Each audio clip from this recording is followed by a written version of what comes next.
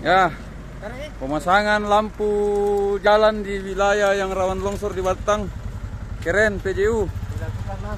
Penerangan Jalan Umum atau PJU Kota Palopo melakukan pemasangan lampu jalan titik-titik rawan longsor di Kelurahan Batang, Kota Palopo, Selasa 12 Juli 2022. Pemasangan lampu jalan ini dimaksudkan agar warga yang melintas dapat lebih waspada untuk menghindari longsor, apalagi di daerah tersebut sangat rawan terjadi longsor. PLT Lurah Batang, Rahman mengatakan dengan dipasangnya lampu jalan di titik longsor dapat memudahkan pengendara yang melintas agar terhindar dari longsor. Rahman juga mengatakan upaya PJU sangat diapresiasi warga Batang sebab dapat membantu masyarakat sekitar untuk mengidentifikasi apabila sewaktu-waktu longsor terjadi di Batang. Dari Kota Palopo, reporter Seruya TV, Anggi Ayu Lestari melaporkan.